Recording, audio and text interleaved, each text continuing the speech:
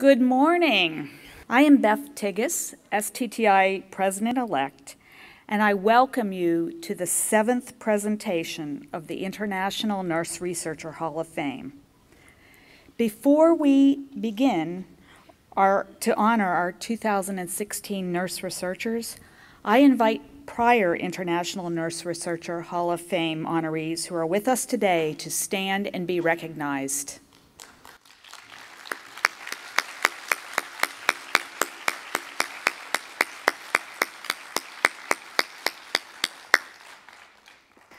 It is very special to have you all with us today.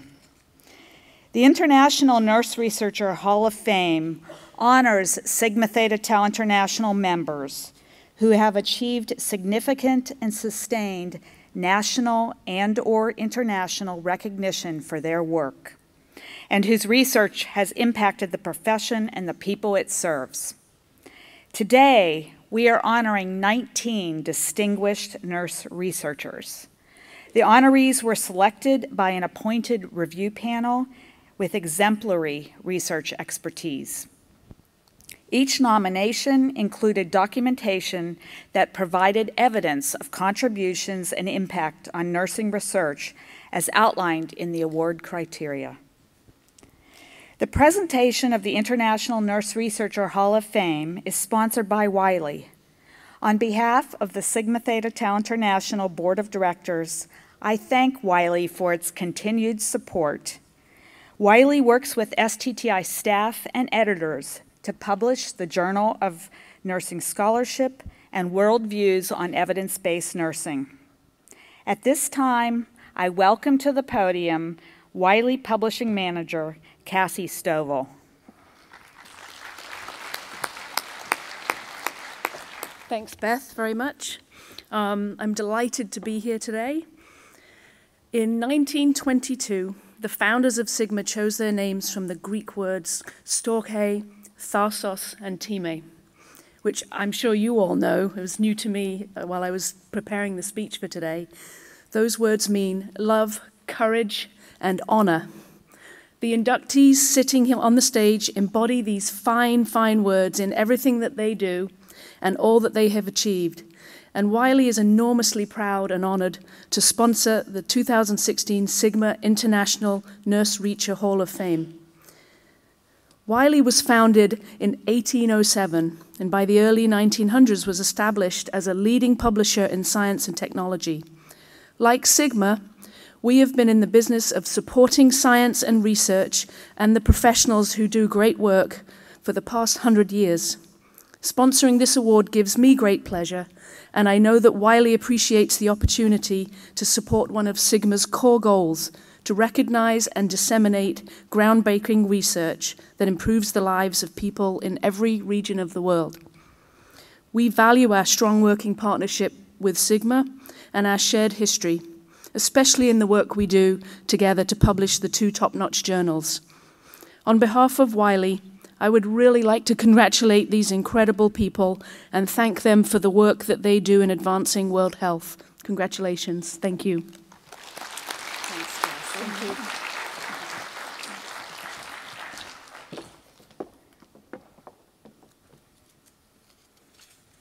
Thank you, Cassie. And our thanks again to Wiley for sponsoring this presentation.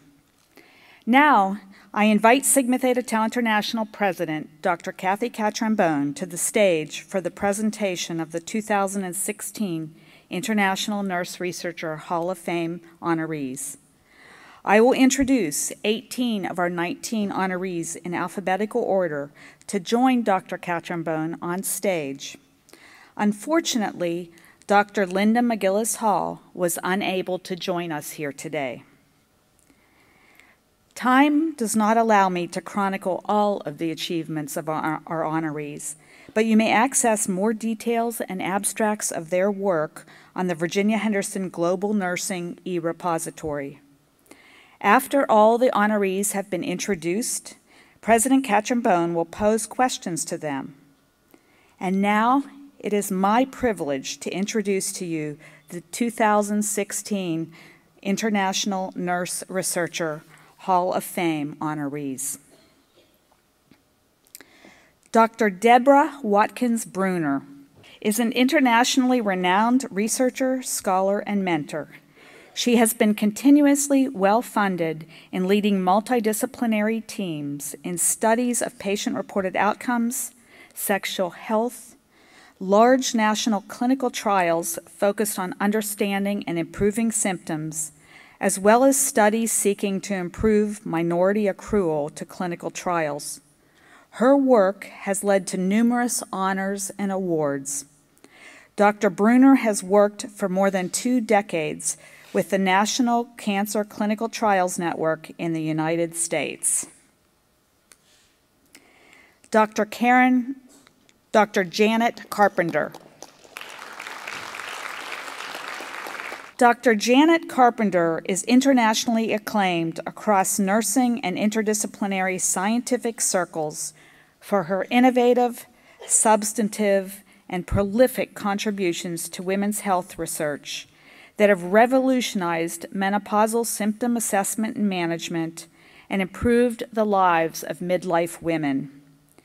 Major impactful work includes her innovations in self-report and physiological physiologic measures of vasomotor symptoms, hot flashes and night sweats, and generation of robust empirical knowledge to inform treatment of menopausal symptoms. Dr. Carpenter has worked to technologically enable the physiological real-time measurement of hot flashes as they occur during women's daily activities. She was the first nurse to lead the development, testing, and refinement of physiological monitoring systems in partnership with two different manufacturing companies. Her direct efforts resulted in smaller devices with greater capacity, more refined analytic software, and simplified data output. Dr. Eileen Collins.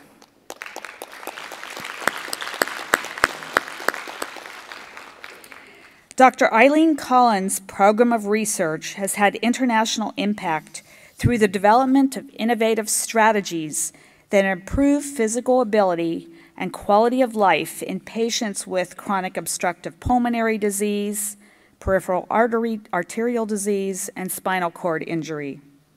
Dr. Collins developed innovative breathing strategies to reduce dynamic hyperinflation and enable COPD patients to overcome physical limitations and return to a more active lifestyle. She was the first to empirically demonstrate the benefit of such controlled breathing, heralded as seminal work in the field by the American Journal of Respiratory and Critical Care Medicine, the American Thoracic Society, and the American Association for Cardiovascular and Pulmonary Rehabilitation.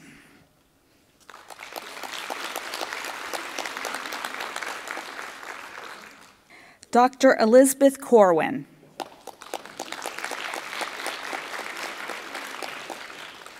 Dr. Elizabeth Corwin's contributions to nursing derive from her vision and leadership in three areas.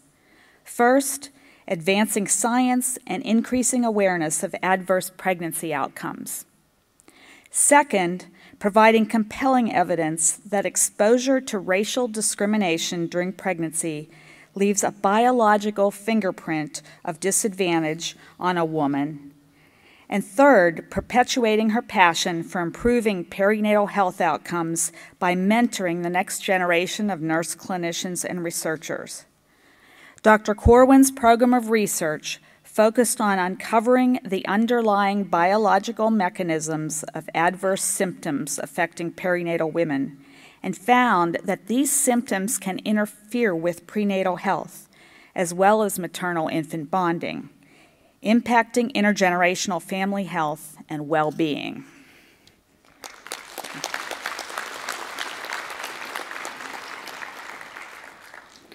Dr. Sonia Duffy.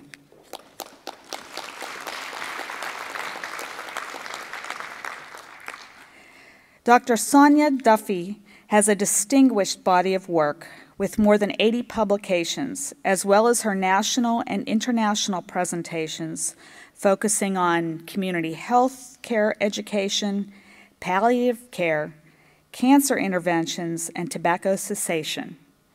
Currently, Dr. Duffy is a member of the Behavioral Cooperative Oncology Group Center for Symptom Management, the Society of Research on Nicotine and Tobacco, the American and American Public Health Association, among others in the United States. And she sits on the National Cancer Institute expert panel to develop smoking cessation measures for cancer patients.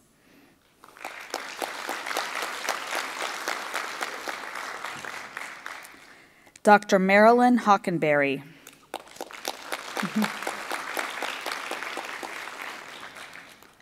Over the past three decades, Dr. Marilyn Hockenberry has demonstrated an outstanding record of publications and scholarly activities.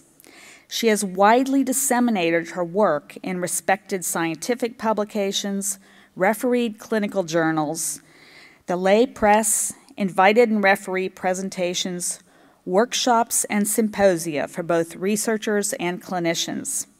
She is an internationally recognized leader and nurse scientist in pediatric oncology.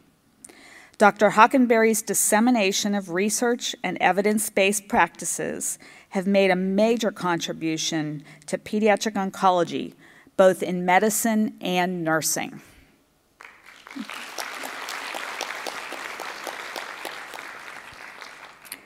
Dr. Huda Abu-Saad Huijer.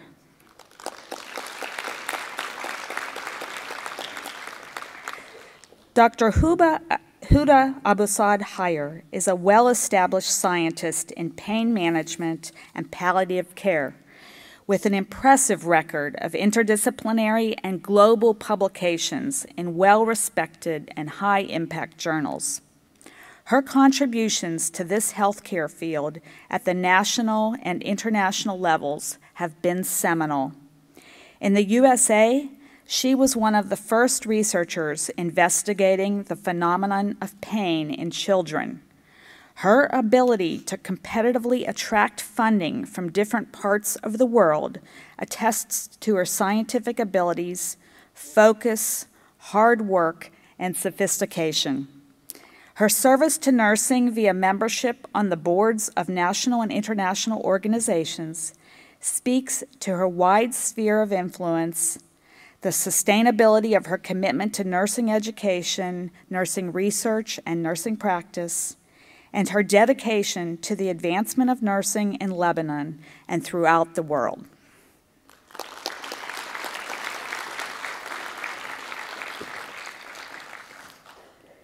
Dr. Hester Klopper.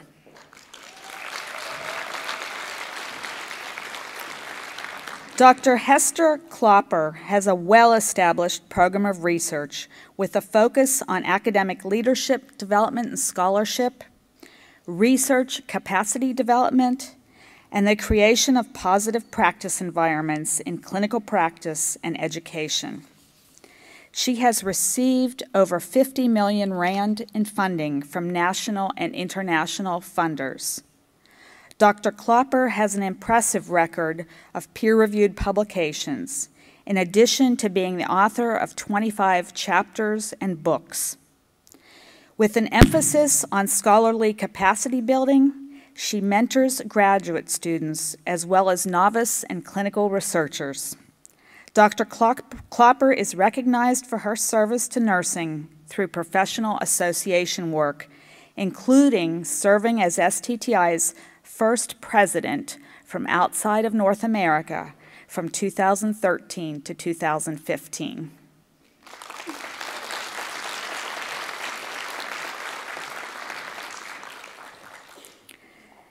Dr. Terry A. Lennie.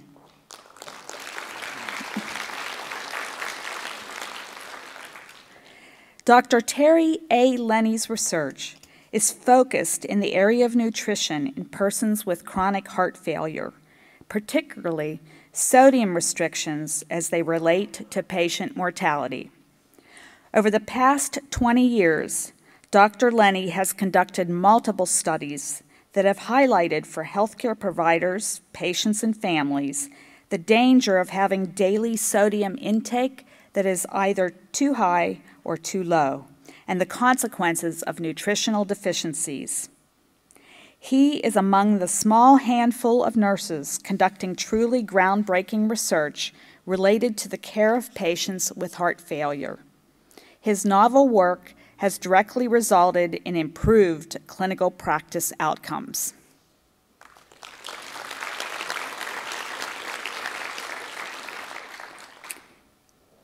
Dr. Linda McCauley. Trained initially as an occupational environmental nurse epidemiologist, Dr. Linda McCauley has always been interested in work related exposures and health effects. She has more than 25 years of experience in conducting interdisciplinary studies focused on occupational and environmental effects on working populations and their children. From 2009 to 2013, she led a large study on pregnancy health among Florida farm workers in the United States. Dr. McCauley's scholarship serves as an important voice from the nursing community on the importance of environmental health for all populations.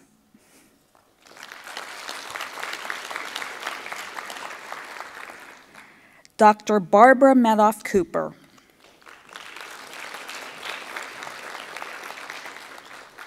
Dr. Barbara Medoff Cooper has more than 35 years of experience as an infancy researcher. She has contributed to the development of the science of care for fragile, for fragile infants and influenced how people think about their care. She is best known for her work with high risk infants and their developmental outcomes, feeding behaviors, growth, nutrition, and temperament. Through Dr. Medoff Cooper's research based publications, presentations, consultations, policy work, and the development of interdisciplinary models of care, she has improved the quality of infant outcomes during the first year of life.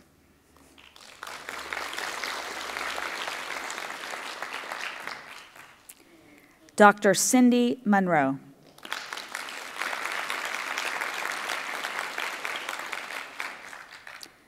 Dr. Cindy Munro's research training in microbiology and immunology, coupled with training as a cardiopulmonary clinical specialist and nurse practitioner, provided her with a foundation for the examination of oral health and biological factors in human health and disease, and led to a sustained and substantial program of research that established foundation for her expertise and laboratory examination of bacterial vir virulence factors, and clinical intervention research in the intensive care unit.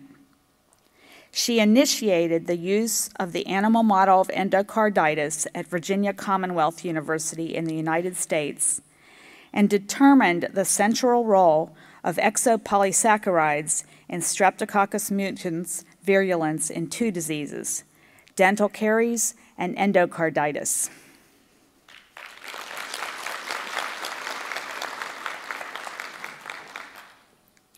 Dr. Anne E. Norris.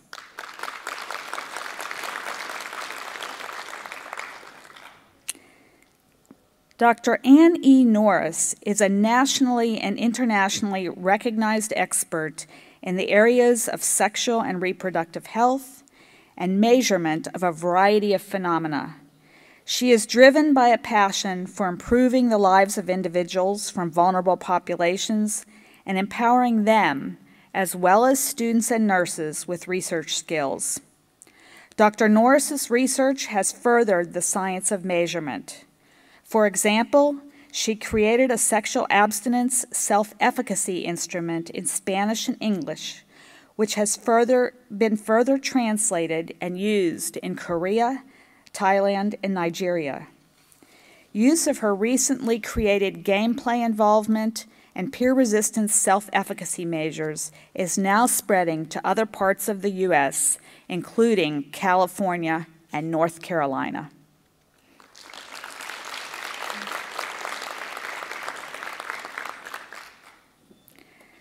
Dr. Rita Pickler.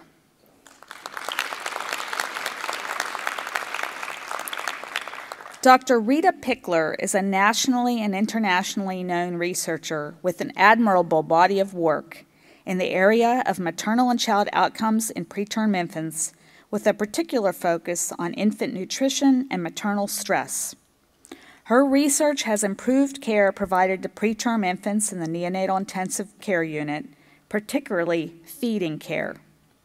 Additionally, her exploration of feeding approaches in preterm infants has paved the way for other researchers and has improved the care of this high risk population. Building on her research, Dr. Pickler is now advancing knowledge and care provision to improve short and long term neurodevelopmental outcomes in infants who are born preterm.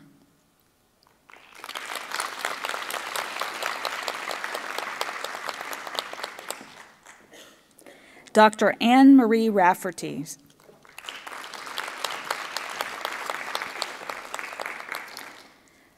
Dr. Anne Marie Rafferty's multidisciplinary academic background and research practice has resulted in an influential body of research that has had a major impact on public policies improving the welfare and working conditions of nursing and healthcare outcomes for patients and families she published the first large study in the United Kingdom demonstrating the association between nurse to patient workloads and hospital mortality. Additionally, Dr. Rafferty is, Rafferty is a successful mentor of novice researchers, notably not only United Kingdom mentees, but novice researchers from a variety of countries.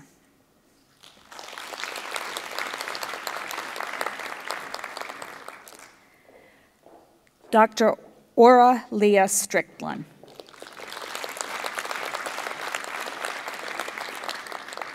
Dr. Ora Lea Strickland has a distinguished record of contributions focused on improving the nursing profession, research in nursing, healthcare to the public, and policy development.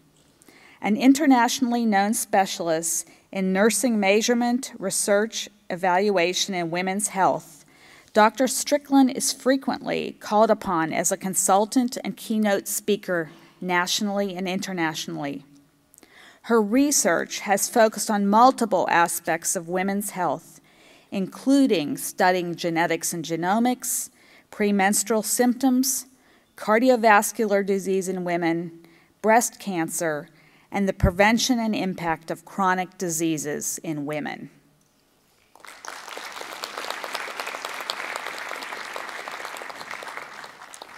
Dr. Peishan Tsai.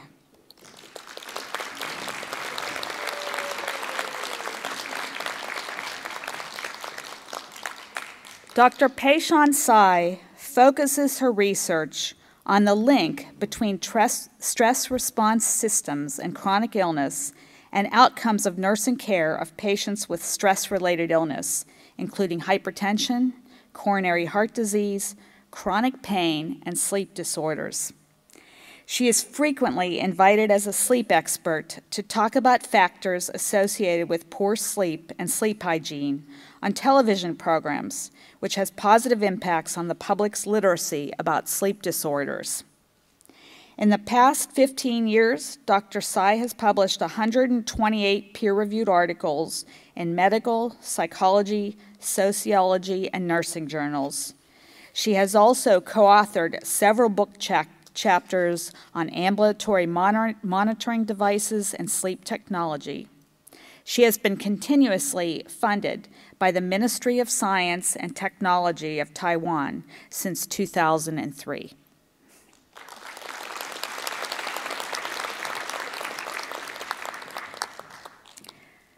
Dr. Judith A. Vessey.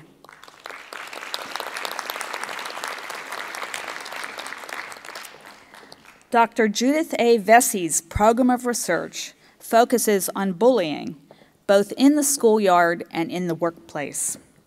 Her research came from her clinical experience and an aberrant research finding from children with chronic conditions who reported different patterns of teasing than previously reported in the literature.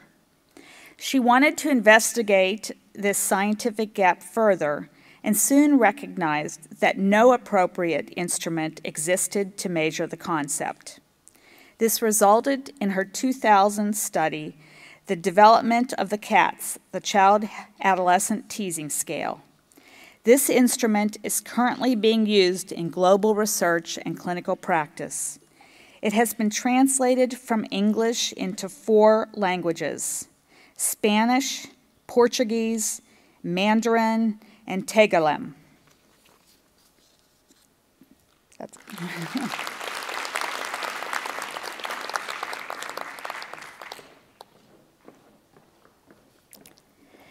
Sigma Theta Tau International has long focused on knowledge dissemination, development, and utilization. These nurse researchers' careers demonstrate how exceptional nurse scientists can be successful in all three of these areas. Please join me in congratulating the 2016 International Nurse Researcher Hall of Fame honorees.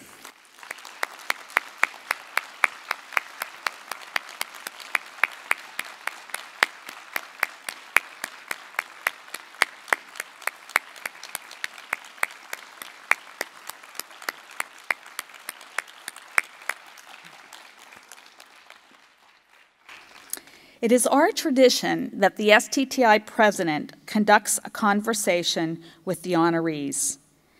Please join me in again acknowledging STTI president Kathy Catrambone as she joins the honorees.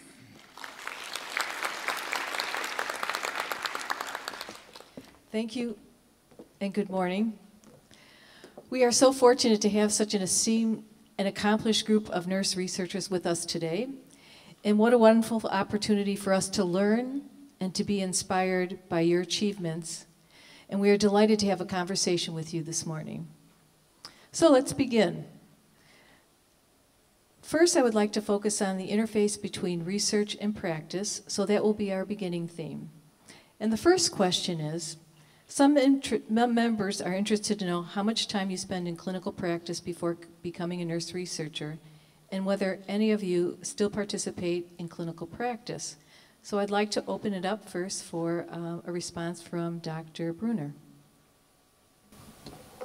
Thank you. Uh, I was in clinical practice for 20 years before I got a PhD, but I started um, my research career uh, when I got a master's degree. And I was probably in practice about six years. And that was because I was a GYN oncology clinical nurse specialist and patients had tremendous sexual dysfunction and there was and still is a tremendous dearth of knowledge about female sexual dysfunction after cancer. I remember reading about all the, that cancer does to affect um, sexual function and then the last paragraph would say, and give specific suggestions. And you'd sort of dumped the book upside down trying to find what those specific suggestions were, and there were none. So that started my career in research. Um, while I no longer have a clinical practice, as a nurse, you're always a nurse, and I feel like I do because there isn't a day or a week go by that family, friends, and colleagues do not call about the symptoms and treatment of cancer. So you, you never finish practice, even if you finish practice. That is true. um, Dr. Duffy. Um, I was in uh, clinical practice as a public health nurse for about five years uh, before I actually went back to get my master's. And it was during that period that I was getting my master's that I became interested in research. Um, I um, became very interested in health behaviors as a group. And I um, don't formally have a clinical practice, However, um, just a little anecdotal story, I recently, for my research, did some focus groups with cancer patients to get feedback on my smoking intervention. And after the patients gave me feedback, a 50-year-old, 58-year-old African-American male that had had a partial laryngectomy and a cancer recurrence came up to me and said, um, in the eight years that I've had head and neck cancer, the only intervention that anyone has ever offered me is my nurse said she would do cartwheels if I quit smoking. So I, um, he said, will you help me? So off I went and we, he and I did smoking cessation. It was a little bit different. It was by text messaging since he had had a laryngectomy and he did quit smoking. And I had emailed his nurse on his clinic appointment to please renew his nicotine replacement therapy. And I told her that she now needed to do cartwheels because he had not smoked in about 30 days. So I do, still do clinical practice. Thank you, Dr. Duffy. Um, and Dr. Medoff-Cooper. Thanks. So I practiced for five years after my master's. I went from my undergraduate to graduate school right away. I was one of those early adopters to do it immediately um, and practice. And it was really my practice that sent me to my doctoral program. I was seeing preemies. We were saving 1,000 grammars for the first time, and we didn't really understand what was what to do about them. We didn't understand their development. We didn't understand their, pa their parenting needs, um, and that really began my work in infancy. Um, but throughout the next 30 years, I practiced as a nurse practitioner part-time. I was a faculty member shortly after I finished my, uh, after I finished my RWJ postdoc, um, but practiced an afternoon a week in the summer, many more days, and continued to practice. But as a clinical nurse researcher, um, I have all, I feel like I practice every day. I'm at the bedside with our families. I enroll families with, with my project manager. I also make rounds, nursing rounds, um, once a week with our nursing staff. So I see myself constantly in practice, and, and it always feeds the next idea for me. So uh, I see practice and research totally intertwined in, in my life as a researcher. Thank you, Dr. Cooper. All right, our second question we'll move on to is what strategies have you used to bridge the gap between your research and clinical practice? And Dr. Collins, if you would like to comment. Thank you. Um, I've been very fortunate in that my research laboratory is embedded in a VA hospital. So we, uh, we see patients both for research purposes and clinical purposes. I find when I spend a lot of desk time that I need to get back to the laboratory because those are where the ideas come from, the patients that you see in the laboratory. I also think it's important that as researchers we maintain involvement in, in the more clinical organizations so that we can, we can hear and listen to what the clinicians are facing and try to and focus on those areas in our research. Okay, thank you. Um, and Dr. Cowan. Uh, yes, um, this is an interesting question for me. I think that I, um, I entered into, I have a different pathway into nursing that influences my thoughts on this question. I became a nurse after, as a researcher. So my um, original career, I have a PhD in physiology, and then I was, I studied the underlying physiological uh, concerns related to pain and fatigue and um, symptoms, but I never thought of it from a patient point of view until I decided to get a clinical background, a clinical expertise, and I stepped out of my faculty physiology position and went and got a, a degree in nursing and then a master's as a family nurse practitioner. And so it was during that clinical, those clinical rotations, and then afterwards, when I did practice um, as a nurse practitioner, that I, that I put into reality or actualized the work I had done as a physiologist, looking at the underlying endocrinology of, of um, endocrinological disturbances and immunological disturbances. And I would see then patients who had pain or fatigue or depression or um, GI problems. And I thought about it as a clinician on one hand, but as a biologist on another. So I still I don't see a bridging so much as a merging of these two approaches to now be interested in the underlying contribution of chronic stress on health outcomes. I see it as a clinician and I see it as a, as a researcher. There is a true underpinnings that chronic stress makes it makes on our bodies and I um, so I study chronic stress now the biology of chronic stress and the um, immune responses to chronic stress which affect patients um, as well as uh, other animals. And uh, so I really see this not as a, that the bridge for me was a very easy one that was formed by my own background than seeing patients who lived those experiences. Thank you. Thank you so much. Now we'll shift gears and thinking back to your early experience as a researcher, was there a person or situation that inspired you to pursue a research career? And I would like to uh, invite Dr. Tsai to start. Thank you for the question.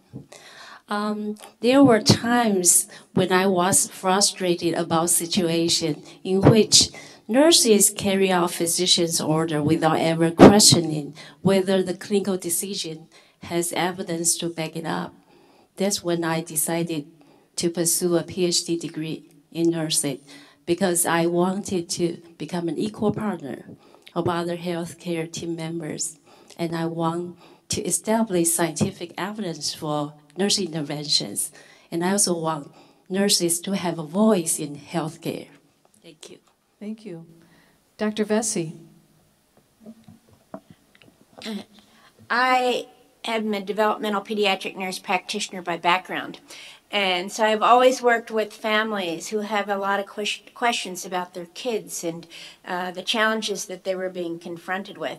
So when I went back for my graduate degree at University of Pennsylvania, I met Dr. Florence Downs, who many of you may remember was the former editor of Nursing Research and also the associate dean at University of Pennsylvania. And she was really the one who challenged me um, to take my curiosity and my inability to answer many of the questions that parents had for us on a day-to-day basis in the clinical arena and to begin investigating them um, from a really scientific perspective. And she's probably one of several people who imported in me the very, um, how important it is to learn to write and to write well because um, that is so foundational to so much we do across the research process. You know, from our IRB applications to our grant applications and to our scientific publications and lay publications at the other end. Good. Thank you. Um, next question is What do you consider the most important characteristics of a researcher? And I will ask Dr. Lennie to comment. Um, I think there are a number of characteristics that are all highly interrelated that, do, that um, are important. The first one is curiosity, the desire for new knowledge and, to, and discovery. I think the second one is persistence, um, and that relies to that other sometimes dreaded P word of peer review um, where uh, often nothing ever gets uh, accepted on the first try. Um, but persistence can be, um, uh, if you have passion for what you're doing, and I think it's essential that you be passionate about what you're studying, um, because that will allow persistence to be an easy part of that as you move forward. And I also think as, as you become a, a, senior researcher, that passion has to extend to mentorship of the next generation of, of researchers. Wonderful, thank you, Dr. Lennie. Uh, Dr. Rafferty. I think Dr. Lennie's just stolen all my lines. Good grief. I was, it's, it's very interesting because we were discussing, um, as Dr. Lennie was, was speaking, exactly the same attributes, but we may have prioritised them in a slightly different order. Um, I think I would also add to the list another P, which is power of persuasion, because you have to enrol, enlist the support of a great many people when you're actually a researcher, be that patients, be that fellow academics to come and play with you as a collaborator. Um, but most of all, the constituency, and of course, you have to persuade funders and reviewers mm-hmm. and uh, think about all of those uh, hurdles that have to be navigated and, and negotiated. But of course, most of all, enrolling and enlisting and recruiting the support of those who will be involved in implementing the research, either as uh, as clinicians or as or, or as policymakers. So I think power of persuasion and a good deal of, and Orla and I were discussing this earlier on native cunning. I think you have to be pretty shrewd, politically astute, and uh, clever, know how to duck and dive, and you know, research is highly political and you're operating often in a highly politicized environment, which is, you know, healthcare, the most politicized perhaps of any type of environment. So good a good dose of native cunning. Um, I'm not sure how you how you quite get the gene for native cunning, but if anyone from the geneticist side of the research equation can tell us that, then that would be gold dust for the future. Thanks. Thank you. Excellent points. All right. Our next question is What cr- criteria or characteristics do you consider in determining who to include in your research team? So I invite Dr. Norris to share your thoughts. Well, I think of myself as sort of having two integrated teams. One are the scientists that I collaborate with. And what's very important for me is that they like to work in partnership and they have a reputation for playing well in the sandbox, so to speak, or on the playground of research. And in addition, that they um, share my values in terms of what I want from the people working on my team that are not scientists. And what's very important to me is that the people working on my team feel empowered to speak up and are, are able to recognize that opportunity and to be critical. I really need people on my team who are willing to push back on my ideas. I don't always agree with them, but invariably we get to a better solution when we have that process going. I think another thing that's very important is that people on, working on my team are able to admit when they're overextended or they're in an area where they don't feel comfortable so that then we can address that and keep the quality of the work at the high level that I want it to be. So Thank you. And Dr. Pickler. Yes, so again, I, I would agree with Anne as well here. I think we, we're successful because we do, in fact, surround ourselves with folks who help us out because they bring complementary skills to the skills that we possess. We don't know everything, we can't do everything by ourselves. So having folks who, who bring those different areas of knowledge and skill with them is very important. And indeed, who share an interest, if not a passion, in the same sorts of clinical questions that we are interested in. That certainly moves the team forward.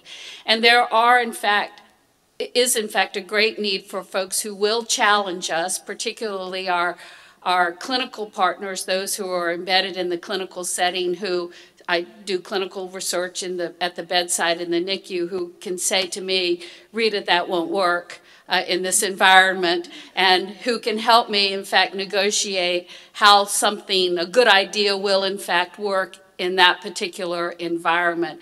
So it is about having folks who are who are with you and yet who who enrich your own uh, knowledge and background so that you can accomplish what is good for the for the folks you're trying to help.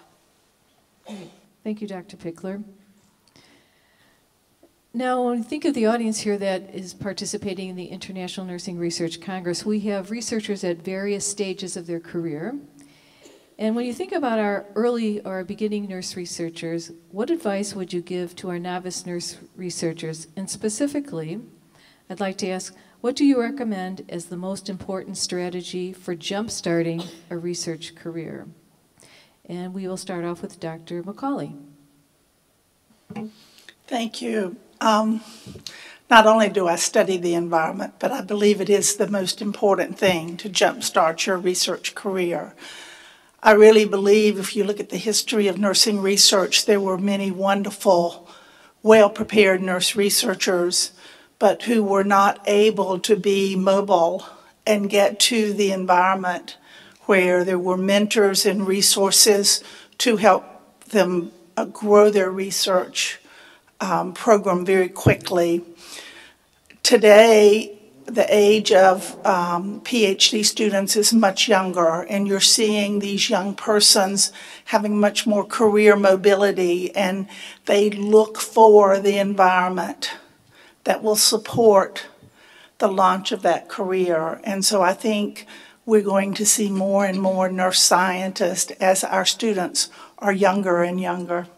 Thank you. Thank you. Dr. Munro. Yeah, and I, I would add that I think probably the most important thing for young researchers or novice researchers is to find a really good mentor. Research is a team sport, and you heard the sort of team metaphors. You need people who can fill in your skill set. Research does have a lot of specific skills like perseverance and political strategy making. And if you, on the clinical area, want to learn a skill, you find someone who does it really well and ask them to mentor you in it.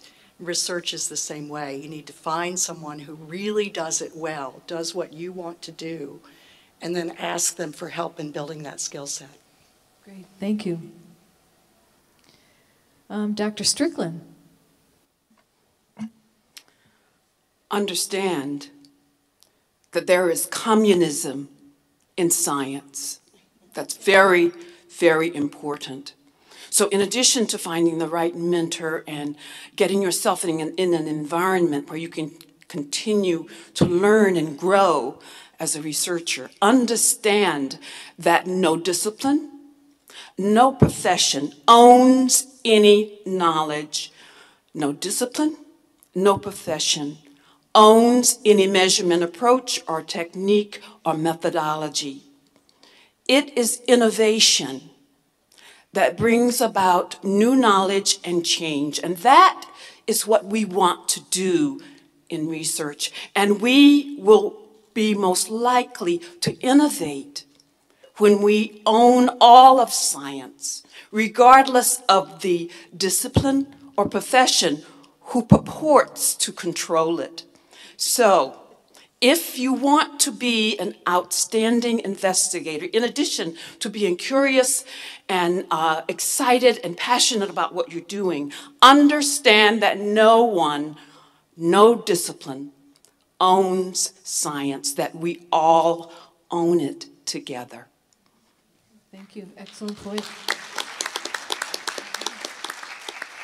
Thank you. Um, what will enable novice researchers to publish successfully? Because certainly that's an area I think that we all struggle with. And I invite Dr. Carpenter to share your thoughts. Thank you, Kathy. Um, the most important thing for publishing is that you have to write.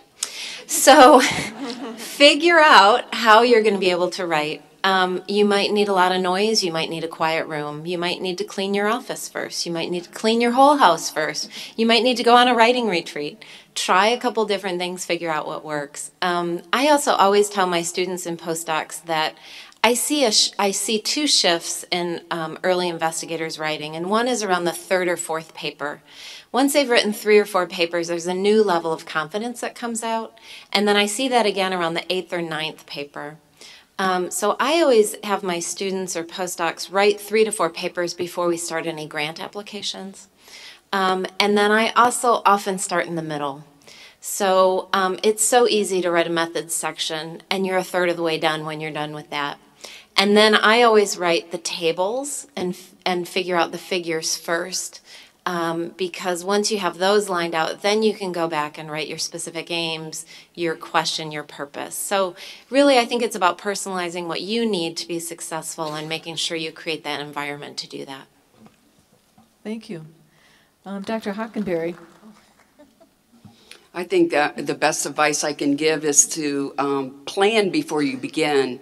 And I so often see ju uh, junior researchers thinking that they have to wait to the end of the study to actually start writing. And so a, a publication plan really is so helpful to a research team to outline exactly what the papers you want to get out of this study. And so if you think of a conceptual paper, because uh, of our, the way that we look at a problem, if you think of a methods paper, paper um, in general that talks about sort of the design or something unique to your study, and then of course the, the analysis papers. And we also uh, very early on look at who's going to be first author, who's going to be senior author, begin to establish that. We make tables to put all of that in so it's understood.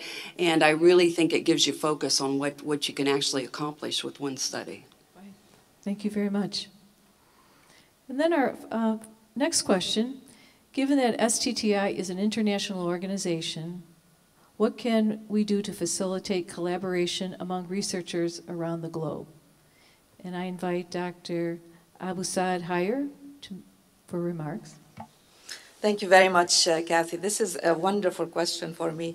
We just established, actually, two years ago, the first uh, IOTA chapter in the Middle East, and our constituents there are asking, you know, what are the benefits that we are getting from STTI. And so I, my answer to them always, you have a wonderful network of researchers around you. I mean, you can benefit from all the things that STTI offers, but I think STTI can do more.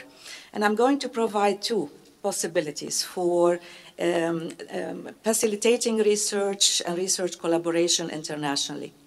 The first one, I think, uh, and it, it is really within the possibilities that STTI can offer, is to establish what I call virtual networks. And I think you have a wonderful uh, database now that you can sort of bring people together based on their research interests and bring them together virtually. And I think that might provide a platform for people and to start talking to, uh, to one another about research and research collaboration. The second one, I would say, provide seed money that requires people to work together. And I have a very good example actually when I was in the Netherlands. The Minister of Health then was really very, very shrewd, and she only uh, earmarked money for research in the field of palliative care if people work together. And so she brought the universities together only through the research funds. So I, my advice really to you, and I would, I would hope it will materialize, that we will create seed money re requiring people to work together internationally. Thank you. I'm Dr. Klopper. Well, I think uh, first and foremost, uh, often what I find is that members are not aware about what Sigma is facilitating. For example, the opportunity to be part of communities of practices on the circle, uh, using that network, the access to the Virginia Henderson Library. So that given, what can we do more? I think, uh, and of course that's a huge challenge, but it is, um, you need money to do research.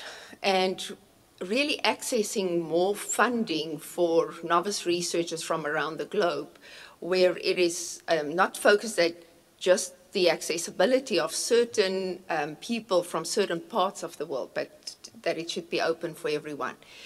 The other um, suggestion that I would make is that lately what I see is that there's a lot of networks around the globe, but it's becoming important that there's a connection between those networks. It is not in the stage where we have to just establish all of these networks. They are there, but the connection between those networks, I think, needs to happen. For an example, is um, the network of deans around the world. Um, really looking at what does it mean to engage in the scholarship of teaching and learning and what, how that, that plays out around the world, uh, looking at standards of education around the world. So just connecting some of the existing networks, I think would, would be extremely valuable in moving uh, work forward and providing the platform for researchers to access and engage in that process. Thank you, Dr. Klopper. One of the advantages also of having a, a panel here to speak with our members, um, we would be an interesting opportunity to learn a little bit more about you also personally. And I would like to just open this question up to everyone on our, on our panel here today. And on a lighter note, um, to share with us maybe one of, of the funniest or most interesting experiences you've had as a researcher. And so I will just open that up to anybody on our panel who would like to comment. And I hope everybody would like to say something. I received my PhD in my 20s. And I was very committed to nursing and getting research out there. And uh, so I engaged a lot in uh, consulting and doing workshops uh, in all over the United States and the world. So I was invited to do a week's uh, research work workshop in the southern, at a major institution in the southern United States. And I was rather young and, and skinny looking. This was in 1985. And um, so they, of course, there was no internet then, and so no one knew what I looked like or how old I was.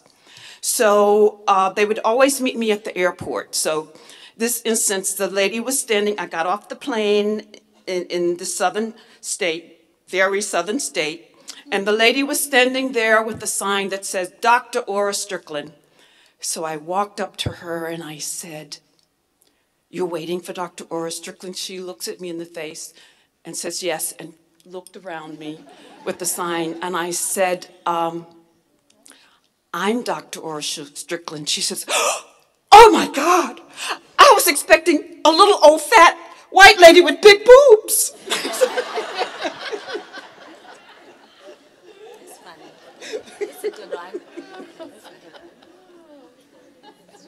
Now that is a story. oh, please, so, our next, somebody else would like to comment.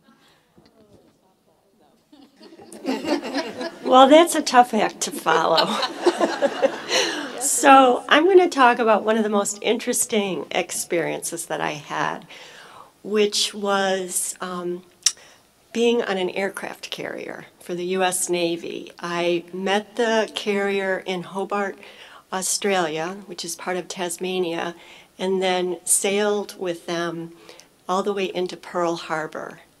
And it was an amazing experience in so many ways. I was there because I was directing and training a young naval nurse researcher in how to conduct a survey of HIV risk behaviors. Um, but I just fell in love with the community there. It was very inclusive. People deliberately involved you in conversation, even though they didn't know you. Um, and I was also impressed with how hard our men and women in the U.S. Navy work and how dedicated they are. And it was just an amazing experience. And being on the inside of the carrier, because I couldn't go outside, as we sailed into Pearl Harbor, where all the Navy personnel stood at attention around the ship as we sailed in, was very moving. And I was sad when I finally had to leave. I know my husband was going to be happy to see me, but I really did not like to leave this community. So. Thank you. I just had a, a, funny story about data collection early on in our um, experiences of looking at childhood cancer symptoms. We used Actograph, and we were looking at this one um, little girl's Actograph, and it was off the chart. We couldn't, and she was newly diagnosed with cancer. We couldn't believe it, and so I went to her and said, "What was going on that day? What were you doing?" And she um, owned up that she had put the Actograph on her cat for the day.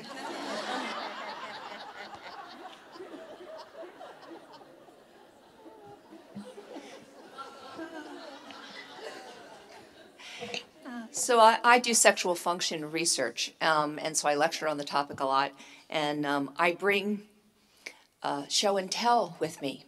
And when um, they first started with the scanning at the uh, at the airport, um, I have a glass ball that, if you imagine, that looks like something that you know the uh, seer looks into. Except out of the glass ball is a penile implant. And if you hit it, it goes limp. And if you hit it again, it goes erect. Um, so I go through the scanner, and a very big gentleman calls me over and says, we, we have to look in your bag. So they take this thing out, and he's standing there, there's a woman next to him, and he's looking at it. And then they pour, start pulling out lubricant and vaginal dilators and he's looking at me and he says, What is this?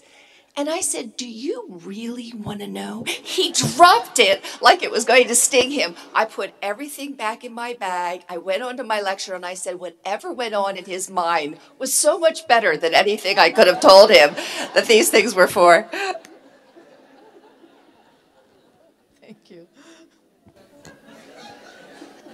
Well, just the opposite for me. I, I, also have a feeding device, and I was going to Israel and bringing it to my colleague um, and how to go through the security. Uh, and um, I, had, I had a really hard time convincing them that it wasn't a bomb, that it really was a feeding device, um, and they really needed to let me go because I really needed to take this to my colleague who was waiting for it because he had subjects already lined up.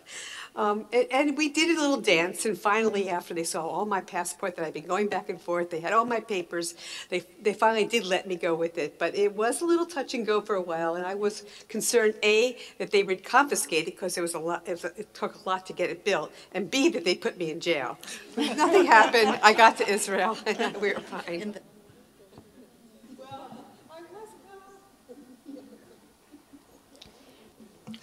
Um, as many of you know, when we get research participants into our studies, um, we, off, we take care of what we need to take care of with the research, but sometimes we end up trying to take care of some of their clinical needs or their social services needs as well.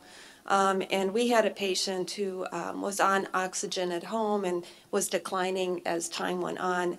And he said he, he could really use a wheelchair. So we worked very hard with our social work department to find uh, this gentleman a wheelchair. And about a month later, he came back to the lab and he was sitting talking to, the, to, to all of us, to our staff. And he said, geez, you know, thanks for the wheelchair. He says, I'd really like to show you a picture. Um, so he pulled out a picture um, of the wheelchair and he said, This wheelchair is the greatest thing. Do you know how many cases of beer I can fit on the wheelchair? Oh, no. So-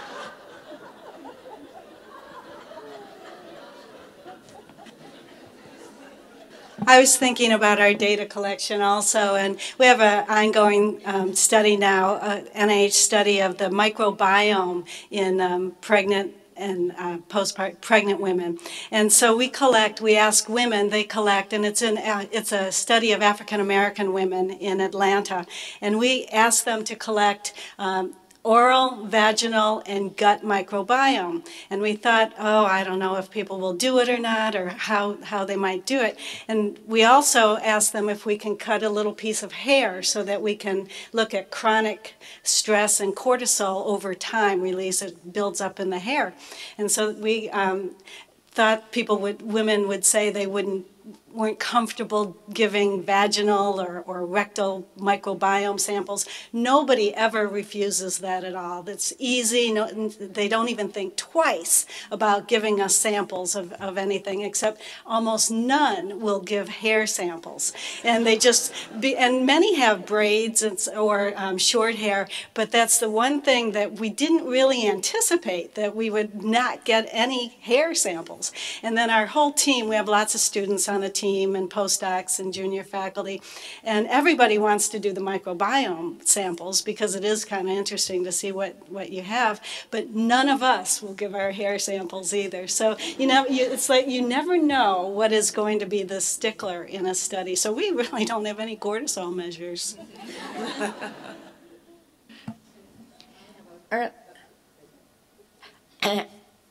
my research is on bullying, and I actually began doing a lot of the work on teasing and bullying several years prior to the Columbine shootings in the United States. So after those shootings, um, I became a talking head on TV, and I found myself live on CNN with a really well-known TV um, talk psychologist, and then there was me.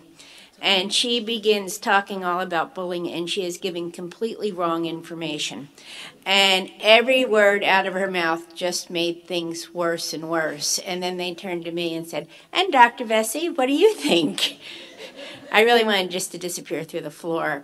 Um, but fortunately, had learned some good lessons when I was a student at University of Penn about managing the media, and they came to the forefront of my mind about how to just take off on a different tangent and present a different worldview. But I was really nervous.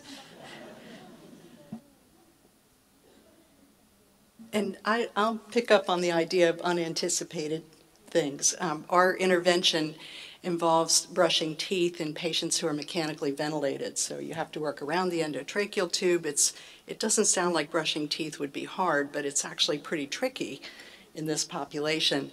Um, and we uh, have been very successful in enrolling people. They're willing to work with us and um, let us do the tooth brushing. But we did have a, a subject a month or so ago whose wife said, well, he, I would like for him to be enrolled, but you can't really use any toothbrush. He's allergic to toothpaste. and I'm like, okay, that's the first time I've ever heard of a toothpaste allergy, but we just went with it. Um, some of the work that I do, I use small physiologic monitors uh, to measure hot flashes, and um, the company had these bags that were just ugly, and the women didn't want to wear the hot flash monitor because they didn't like the look of the bag. so um, I ended up going to the fabric store and getting some vinyl and sewing these little pouches for the women. And um, they, they liked them better and they were willing to wear them until we had one participant who didn't think that the black bag went with her outfit and wondered if she could get them in different colors or different fabric or and I was like no. Like I, it was just crazy. So I learned.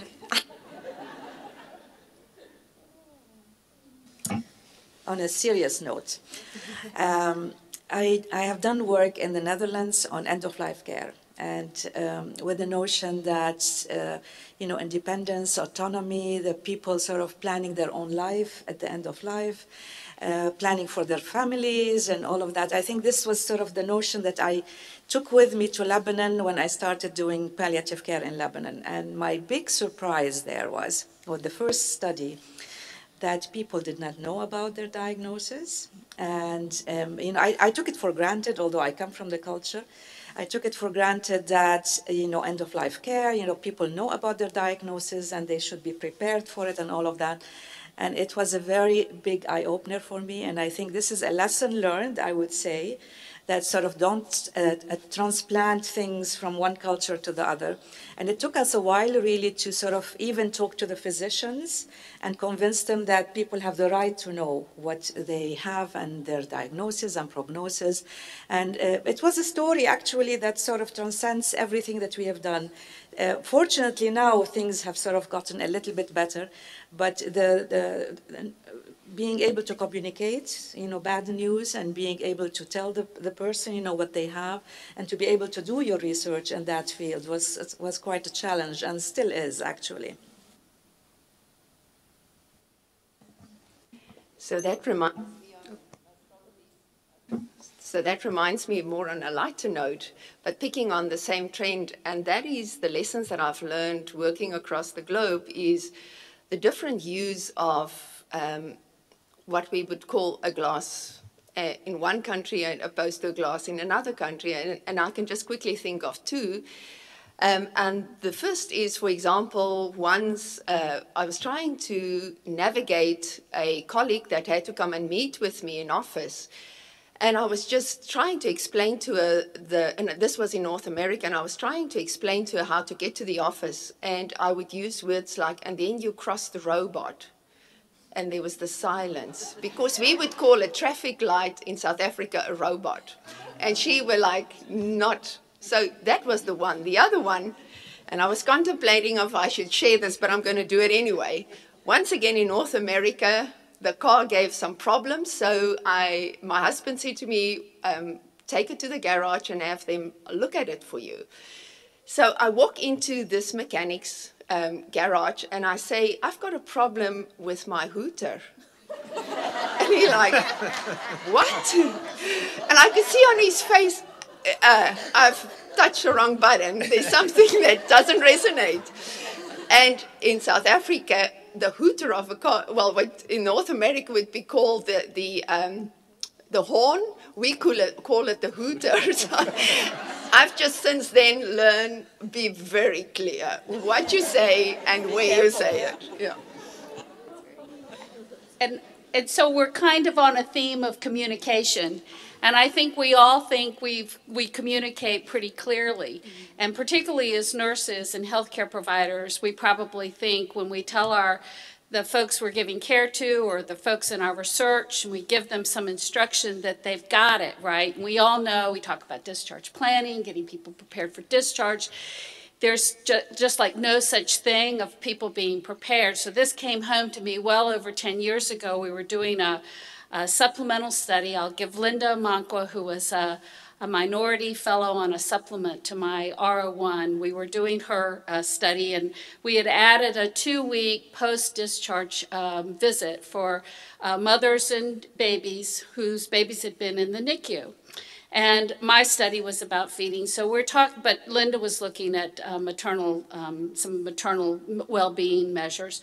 But we were talking to this mom. She brought these this baby back in for um, the two week post visit, and of course, well documented that she'd had all sorts of pre discharge education and preparation, which was not part of our study, but just part of general clinical practice. And so we asked her how things were going, and she said, just fine, simple question here. What you know, is it okay if milk comes out the baby's nose? Well, no, not exactly. So, you know, we think she was pretty sure that wasn't an okay thing, but nobody'd really gone over with her how to feed that baby after discharge, how to make the progression for the baby's feeding to go forward. But of course, it was well documented that she was perfectly prepared for discharge. Our communication skills are lacking. I had a similar with communication skills and also cultural differences. When the first study we did, when we did food diaries in our in our patients, and we live in landlocked central Kentucky, and uh, I had a, a student from uh, the Middle East who I tasked with entering the diet diaries, and uh, I thought I did a pretty good job of showing him how to do all that work. And we got a printout from one of our patients, and and it didn't look quite right. So we went back to the original diet entry, and for lunch on one day he had entered that this woman had eaten one small alligator for lunch. So, so, so I think I still needed to do some additional work with him.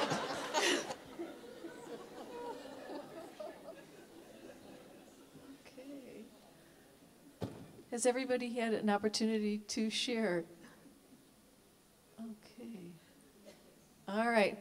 Well, thank you so much for your um, wisdom, um, for getting close and personal with us today. Uh, we really appreciate it. And let's give our panel a round of applause.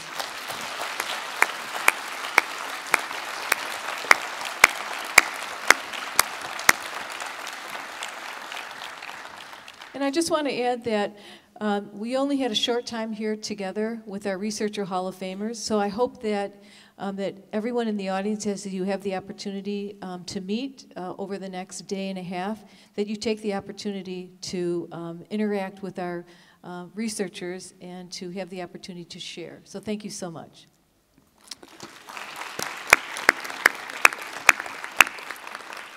So that was insightful, inspiring, humorous, and very energizing. And we are so thankful to be able to celebrate with you all today your incredible accomplishments. Please join me in congratulating them one more time, our honorees, as they leave the stage. And again, Thank you, Wiley, for sponsoring this wonderful program.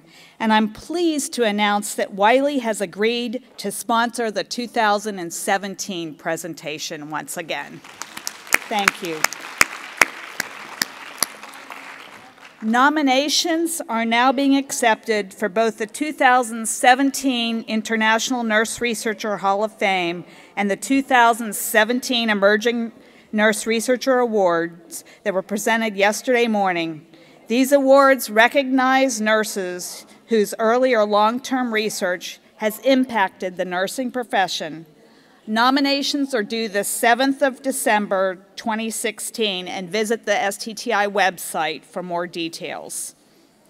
You'll find more information about next year's Congress on the website and we look forward to seeing you all in Dublin be sure to join us for lunch immediately following this session. Lunch will be served in the Convention Hall foyer. Thank you and enjoy the rest of your time.